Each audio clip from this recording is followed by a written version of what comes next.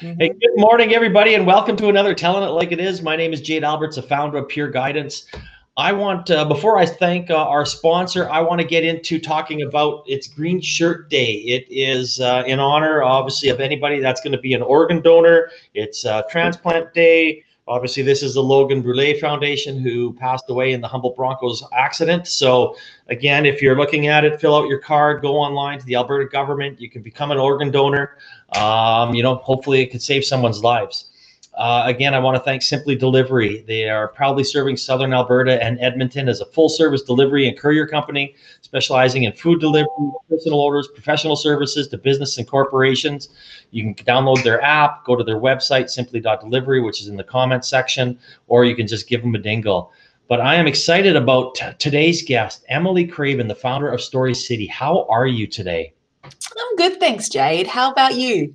Well, you know what? I can't complain. I am out in Radium and uh, going to go golfing today. So, uh, hey, you know, life is pretty good right now. Delightful. The mountains is like just the place for the soul where you can get, you know, a nice, a nice breather uh, after after being inside for so long. Well, absolutely. I, I wanted to shoot it out uh, out the bedroom window because then it looks right out into the mountains and everything. But I would have been just a big black blur, and it would all been light. So it's like I'm stuck sitting in the kitchen today. it is what it is. It happens. We can't all have fabulous like backgrounds going on there. Yeah, exactly, exactly. So I, I always love uh, you know talking about how we met because networking is such an important part of business. Obviously, you and I met through the Startup TNT conference. We've had a few discussions since then, and uh, and here we are having you on telling it like it is, and I'm excited. Me too. It was a really fun experience that one. No, absolutely. And uh, we'll get into Startup TNT in a little bit, but I'm going to give a brief introduction and uh, then we'll get after it. So Emily is an author, speaker, CEO of Story City, and I love this karaoke queen. Not shocking. She has a degree in astrophysics and a decade-long career in storytelling and publishing. Having presented across the world on interactive storytelling and transmedia, Emily has won numerous awards from innovation to young writer, publisher of the year with her work within Story City, she wants to help creatives you know build careers they love in cities they love by redefining stories so they are something you are part of rather than something you're told. And I and I love that. I remember when I first heard uh, heard you heard you pitch on Startup TNT, and I was like, oh man, that is so cool. I love storytelling. I love telling stories. I love being part of stories. So, it's like, how did you come up with this uh, idea? Um, it was probably a, a um, it was one of those things where you're kind of sitting down with friends and you're like, I want to be a part of these stories rather than being told them. And and and if I'm honest, I probably read a book uh, where a character that I was reading was doing something really stupid, and I was like. Ah, if I was this character, I would do things differently, um, and it kind of made me really long for for um, the the ability to, to be a, a, part of, of a story. And yeah. it was kind of at that time, um, I was trying to make a name for myself as an author. And I lived in this city that was probably the same size as the city that I live in now, Edmonton it probably had about one and a half million people in it. And um, there was just no opportunities as an emerging creative to build a career, uh, which really perplexed me because uh, the, the place where I lived, it was also the festival city um, of, of Australia in the same way that Edmonton is. And so there were lots of arts and, and culture and, um, and, and those sorts of things. But like if you really wanted a career, you had to move to the bigger cities uh, to do it. And so Story City was kind of born out of wanting to create my own opportunity, wanting to be a part of a story rather than telling it.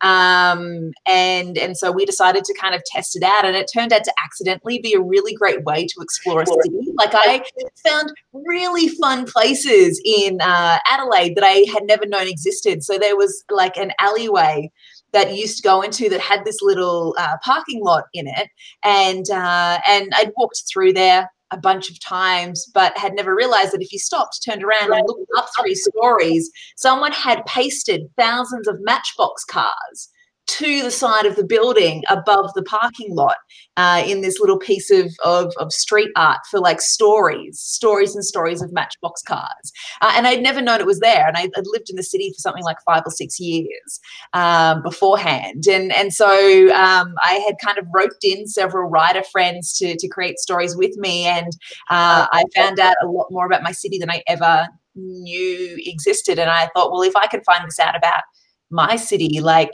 what are the stories that you can find in other cities as as well that aren't necessarily your regular you know like history walks or ghost tours? Like there's so many interesting places um, that sometimes you don't pay attention to because you're you're so busy getting to your job or your school or wherever that is that you don't actually kind of see the the fun things that are around you no, absolutely. I think that's cool, right? I mean, we think about going to New York, right? What do you do? You jump on the hop on, hop off bus, right? Or you go here, or you, or you have certain things. I, I, I, again, it just resonated with me as someone who loves to be creative and take your camera and do fun things with it. And, and why wouldn't you be able to partner? Why wouldn't Edmonton, Calgary, Lethbridge, Medicine Hat, Banff, especially like these tourist places, want to dive in on that and say, hey, come share your experience. We're not going to tell you what to do. We'll give you a little guideline, but here you go.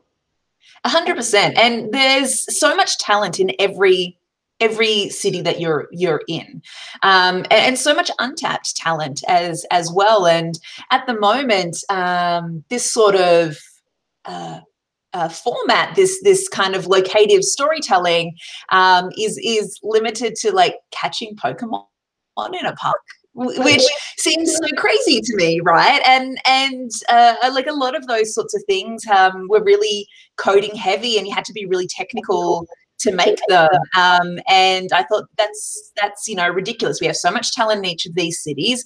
We have so many stories that we can tell both fictional and non-fictional and um, and all people needed was just the tools to be able to do that and so that's what i set out to build no, and and I think it's great. Uh, so how have how has things pivoted here in the last little bit with people not being able to travel and obviously not go out in their cities? Was there a little uh, challenge over the last year? Um, so I had originally thought that there would be, right? Uh, I I had kind of expected it, but um, a really weird thing happened. We actually started having municipalities reach out to us, being like we can't run events. And you seem like a way that we can run an event without people gathering. Um, how does your how does your platform work, right? And um, we have always been a, a platform to entertain local people with their own city, right? Get local people exploring their own city, playing with their own public spaces, and the tourism side of things was kind of a a happy afterthought that these experiences would double as tourism. So um, COVID actually has shown that there's more of a need for this than ever before because we can't travel.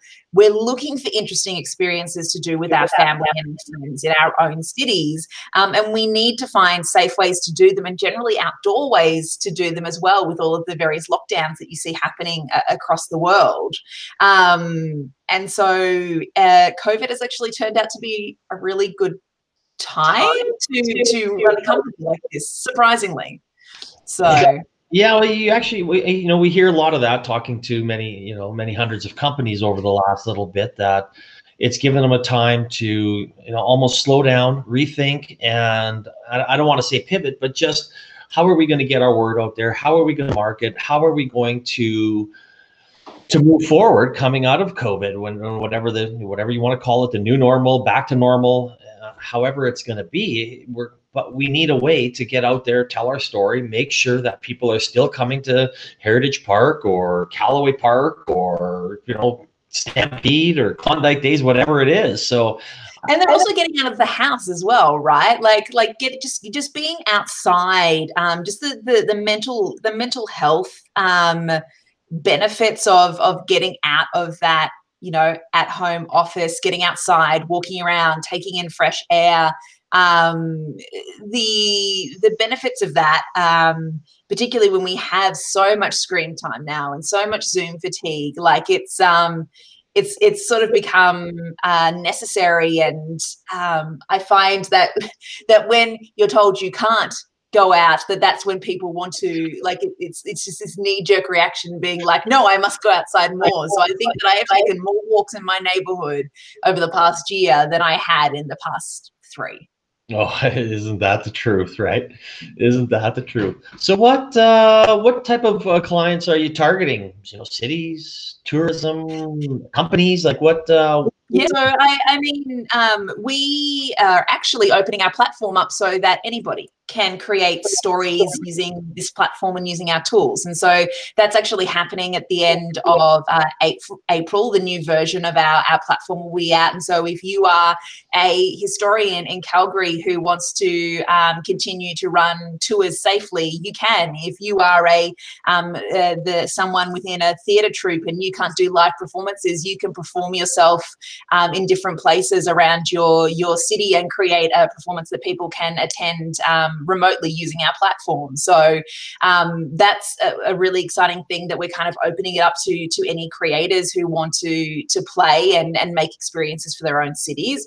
Uh, but at the same time, uh, we are what I would consider to be a social enterprise, and so uh, the way that we started was that we actually did partnerships with local municipalities, um, with nonprofits, and and with arts organizations, and so we would partner with those organizations to essentially uh, upskill their local creative population and to provide paid work opportunities to their creators to to activate particular areas of um, a city or or particular history or culture that uh, someone wanted to make immersive. Uh, and so we speak a lot to, to cities, uh, economic development departments, arts and culture, parks and rec. Um, we speak a lot to tourism boards. Uh, we we also talk a lot with uh, like large theatre companies, writers' centres, um, uh, youth groups about uh, how they can create interactive uh, stories and and use a platform like Story City to be able to literally put people in the shoes of somebody else. No, I, I can see endless. I, I I mean, I, you know, things are running through my mind, you know, like even when I go fishing, right? Fishing lodges and things along those lines have, you know, rather than doing it right, here's a guy pulling in, you know, a, you know, 10 pound trout or whatever it is that you're fishing for, a 30 pound mm-hmm. jack or walleye. And then there you go. Everybody's got their phone on them, right? So it, it it's a story wait, waiting to happen is what your phone is. A hundred percent. And um, it's the amazing uh, tools that you can now um, create things with on your phone. Like the the smartphone is a really equalizing technology. Like there are there are obviously even in in this country and, and in um, Australia, you know, there are still a lot of people who, um, you know, don't have access to regular internet, don't have access to, um, uh, you know, laptops or, or, or, desktop computers. But almost everyone can at least get some form of, of smartphone. And those smartphones have really um, equalized the creation and the telling of of stories, whether it's via social media and things like TikTok or YouTube, or or, or whether it's by doing something like Story City. Um, I it really gives me um, hope for the light that we can shine on different stories from from different groups as a result. Oh, I love it. I'm talking with Emily, Craven, the founder of Story City, storycity.com.au. You can click on it right in the comments section. So if Jade Alberts wanted to come onto your site, walk walk me through the process, uh, Emily. Yeah, well, at the moment, you would see a pretty sign up form that says, We are launching in April, and if you would like to join us as a creator, please sign up. But uh, the idea at the end of April is that uh, we are essentially going to be having um, a, a, completely open platform. So you'll be able to go to uh, the Story City website. Uh, it will soon be changing to storycity.app uh, to be to be a little bit more more global. Uh, we originally, I don't think I mentioned this before. We originally started off in Australia. We now here uh, in Canada. We set up as a Canadian uh, company here. Um, very proud to be a Canadian company. All of my team is is here in in Edmonton, and like, ah. Oh, the the amazingly smart, talented people that I have met here in Edmonton is just uh, it, it warms warms my heart. Um, but so you would come to the to the website and and you could search your city to see if there are any uh, stories uh, near you. Uh, but also you have the chance to become a creator, and if you become a creator, you essentially get access to our creator tools, which allows you to use the media that you would already use to create. So whether it's you know audio, uh, video, uh, if you're a visual artist, images, text, um, to be able to essentially create an experience in your city. You can geolocate where your content goes, and uh, people can walk that content, they can cycle it, they can drive it if you want them to. Uh, and essentially, what we'll be allowing uh, creators to do is the ability to sell these experiences to the public um, for whatever they they wish to. Oh, interesting. I like that profit profitability aspect of it. Well, uh, we want to build local economies, right? Like my my whole point of starting Story City was that I didn't have the opportunities in my own city. I had no way of building a career in my own city, and so um, everything we do is about uplifting creators being able to help them build careers from something they're really passionate about and for them to be able to make money from that right? Like I, um, it, it always uh, annoys me when platforms are kind of advertising only platforms, and um, you know, with with things like YouTube, there are these creators who who make um, weekly videos and and they get like pittance in terms of the the amount of advertising money that they then get out of that. And um and i think that if you're building a content creator platform you need to do it in a way that people can actually properly make money from the content that they're that they're creating couldn't agree more. Couldn't agree. And I was saying, like, there's not a there's not a time in world history that if you are created or if you want to make money doing it, it could be creating a story, it could be doing something silly on TikTok or YouTube or whatever. The platforms are there to to to open up. I think of our daughters, you know, at 11 and 14. You know, the world's their oyster. I mean, here you go. If you want to do something on your phone and create something and, and create a career out of it, you can do that. That didn't exist 15 years ago.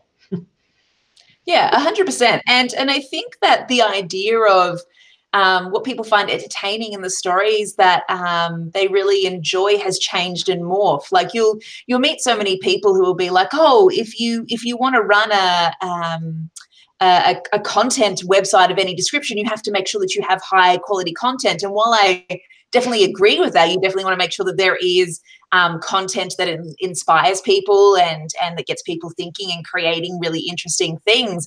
I also think that. Um, the the judges of talent are the public themselves and if you put yourself in the shoes of like tastemaker i think that that's when platforms really fail right? When when they don't take into account that there are so many niches and so many interests and so many different types of stories. And so as a result like uh, companies that you know uh, like niantic who make pokemon go continue to make the same types of games for the same types of audiences. And um, and you miss out on so many stories that way. No i agree. I agree. I mean it's uh I'm more of an authentic person, which is why I do it live, which is some of the um, the videos that are content that I've created that have had the most views and hits and likes and shares and everything that comes with it have been just holding on to my phone and doing this uh, and you know and not really doing any editing at all. So i'm a big fan of authentic and i'm a big fan of of of which is why you know even when i go to cities i like to hop on hop off because i can hop off somewhere and then i go and we explore oh i can walk this way i can go this way i don't have to go on a tour or whatever it may be. So I, I, mean, I think this is an aspect that I can see that so many people can have some fun sharing stories and on you know on their vacations and things that they're doing. Hundred percent. Oh, absolutely. So I know. Speaking of, you know, you moved you moved to Edmonton. Edmonton's got tons of talented people. Absolutely. We met through Startup TNT and the pitch night and the investment, I guess I should say the investment summit. Uh, you made it into the top five. So why don't you explain or share your uh, startup TNT experience? Yeah, Startup TNT has been one of those um, amazing communities that um, I feel a lot of people luck into finding. Um, and it, it was one of those things where I kind of I moved to a new city. I had moved because I wanted to take my my company global and um, and Edmonton seems like an odd choice for that, right? Like a lot of people are like, why aren't you in Vancouver? Why aren't you in Toronto? Uh, and again, it would probably surprise no one that I rail against, um, you know, being in those big cities to make the career, right? Like I, I kind of want to prove that like you can you can build big careers anywhere. You can be build big companies anywhere. And i think that covid is is really starting to show that off particularly with remote work and people being like i don't need to be in new york to be a part of this advertising agency. I can you know live in albuquerque and take in the brilliant sunshine and go to the mountains every day right? Yeah. um and and it's a it's it's it's um so so when i came and i kind of i set up in in edmonton my husband works in oil and gas, as many people do in in Alberta. So that was kind of how we we ended up here, and I'm so glad we did because Startup TNT is this really vibrant uh, networking community full of uh, entrepreneurs, uh, students who are entrepreneurially spirited, uh, angel investors, you know, um, uh, investors from from various institutes, people from different um, uh, services that are really interested in in building Alberta into uh, something that's more than oil and gas, right? And um, I've been a part of Startup TNT for almost 12 months before we we ended up being shortlisted for the the second summit. And um, and I think it's really true that like the more your community gets to know you and understand not only that you're passionate but that you have your um, ducks in a row and your strategies in a row and that you're a person who can make things happen and they see that happening across the across the months and across the year um, that um, it's, it's that's when you kind of really start to to make to make headway. And so the Startup TNT uh, Summit was one of those really wonderful experiences where you get to meet investors of all types who are worried about all different things. And so you get to consider all of the different parts of your business and and how do you you show um, the angles that you're going for and the strategies that you're doing. And um, it was a really um, warm and welcoming and friendly atmosphere. You didn't feel like if you said the wrong thing that you were then going to be like blacklisted and pushed out, right? Like yeah. it was one of those things where you were constantly getting feedback and people were like, no, no, no, I need to know more about this. And then they would let you go away and develop it and come back. And so um, it was one of those experiences that I, um, felt like I was a part of a community who was cheering me on rather than part of a competition uh, where one wrong move would kind of like set you back.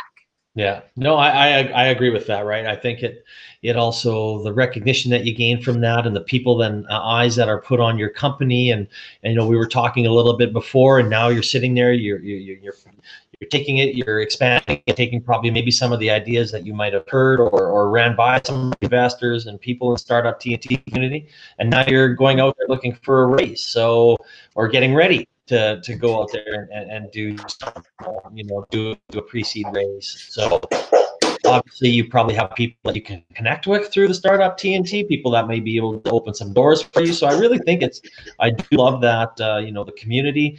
You know, TNT, it doesn't stand for dynamite, it stands for Thursday night tradition, which is really networking and really making sure that people have an open platform where we can showcase that. Yeah, come in here and, and, and ask some questions. People will help you. And and, and what you're seeing in Alberta right now, I think is because of what Startup TNT is doing. People are saying, "Oh my God, look at all these companies here over the last two and a half summits, three summits after the clean tech one here that are based in Alberta. We knew nothing about these companies.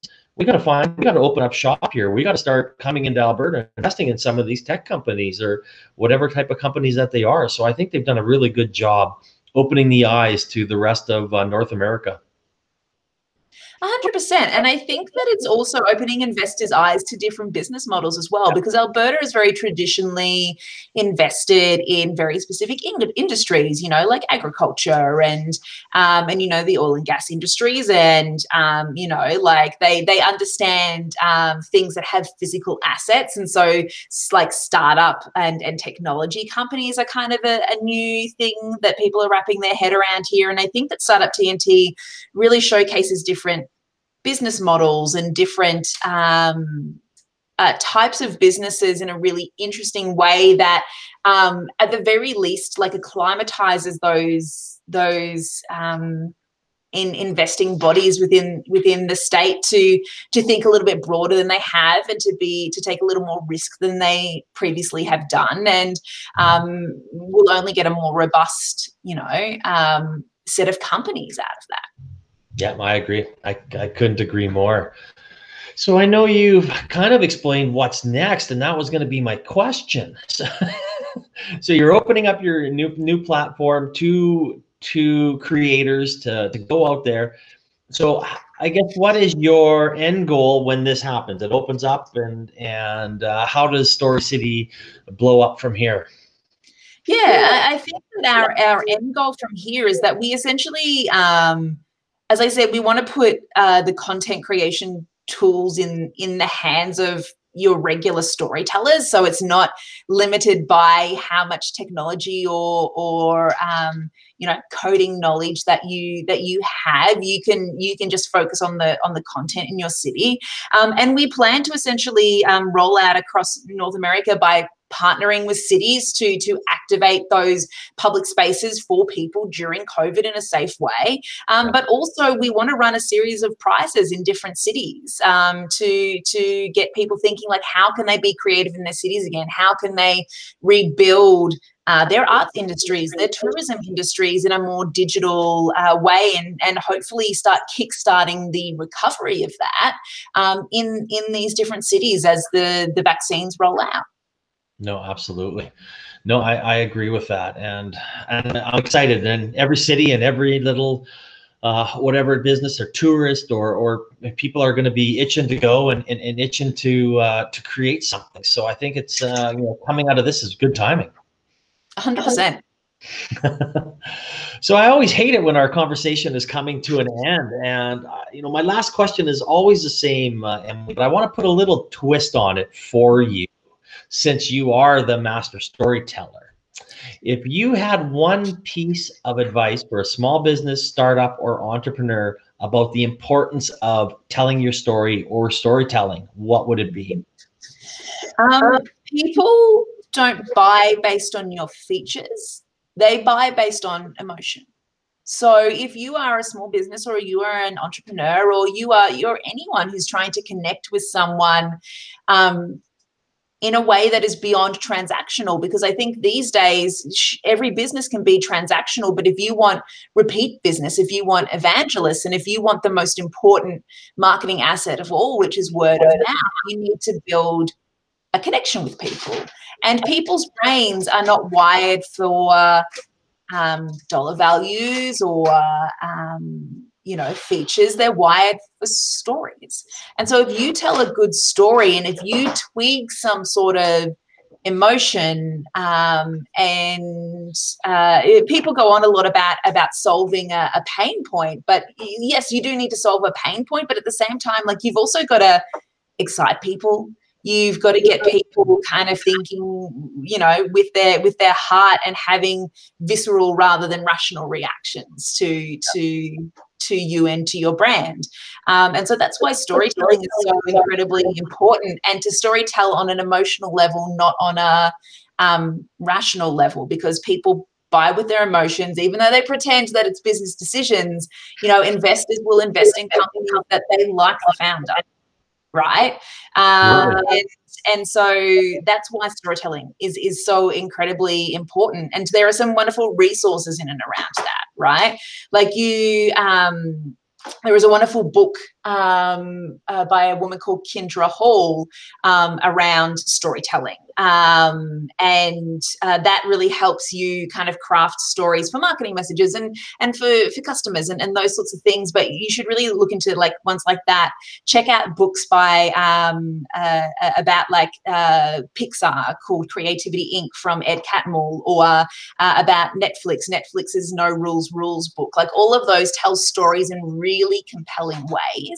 Um, and that will kind of give you a feel for how you could potentially start telling your own story to your own customers. I love it. I love it. And some book recommendations. I'll have to have to put those in too. Make sure people get those ones. I love Indeed. it.